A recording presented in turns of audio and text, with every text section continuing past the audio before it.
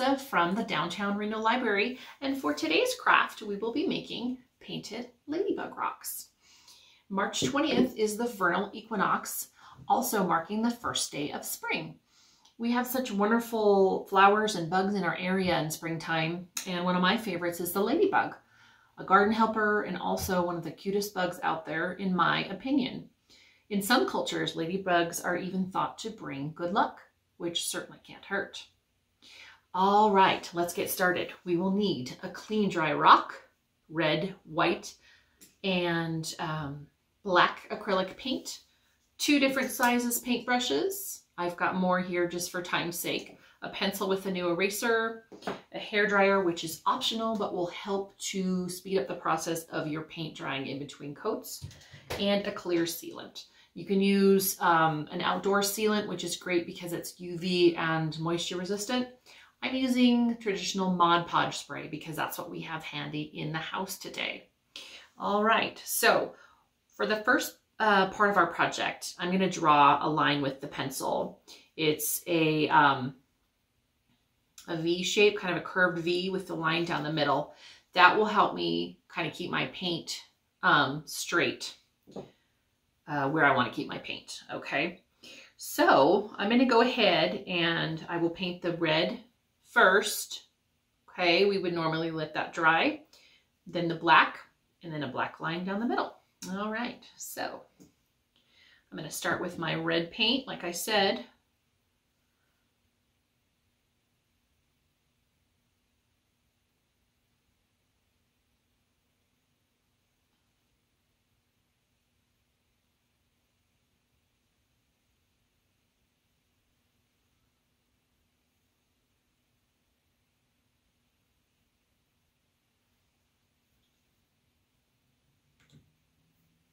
Yeah, I'm going to go for my black paint.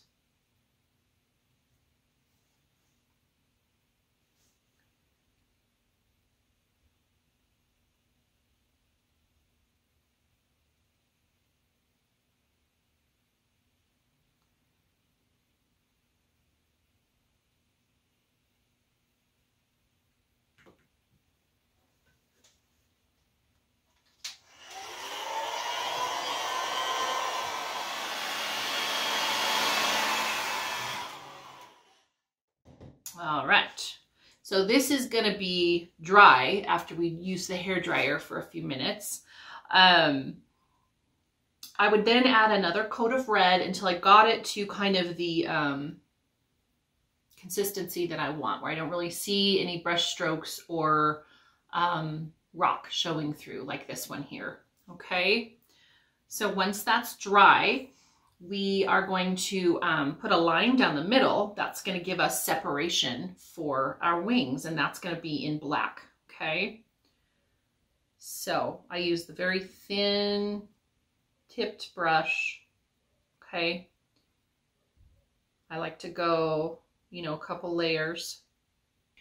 So you may need a second coat on the black you may not okay So I'm going to set this little guy aside and we'll pretend like it's dry. Okay. I don't want you guys to have to hear the hair dryer. So this is what it would look like dry. Okay.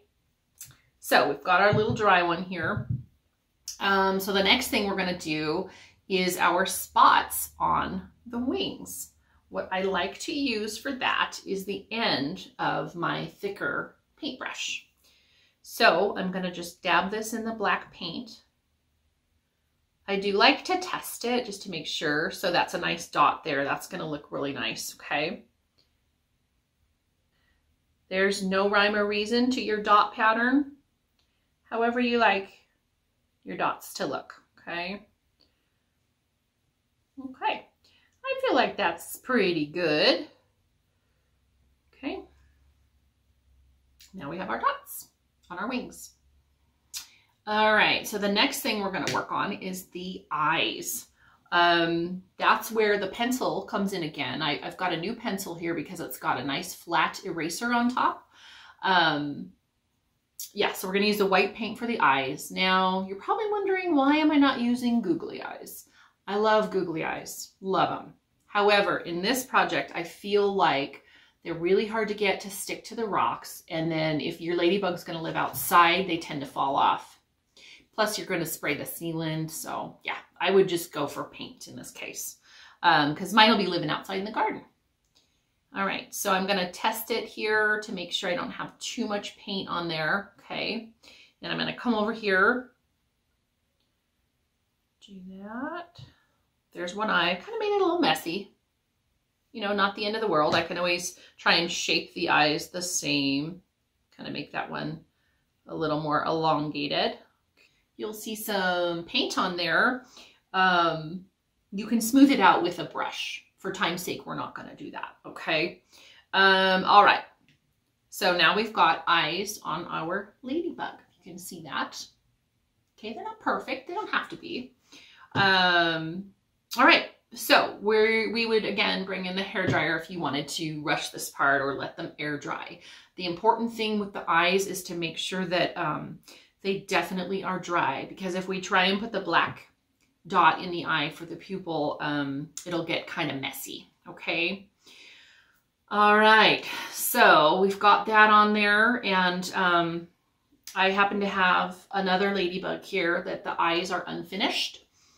So we're gonna uh, put the pupils on next and I'm gonna use the smaller uh, paintbrush here to put those dots on there, okay?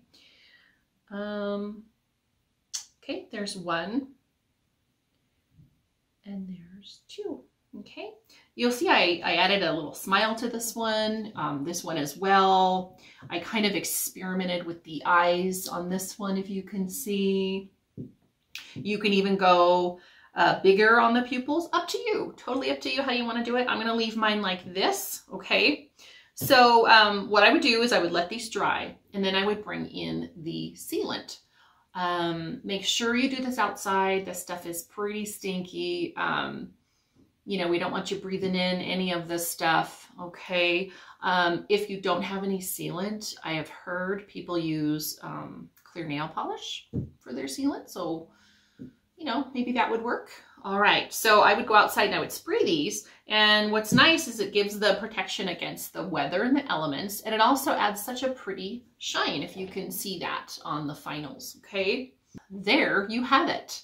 Um, an adorable ladybug to help usher in spring and also possibly bring good luck. Thank you so much for joining us on this crafternoon. For more crafty ideas and STEAM activities, find us on Facebook or visit us at our website, www.washoecountylibrary.us.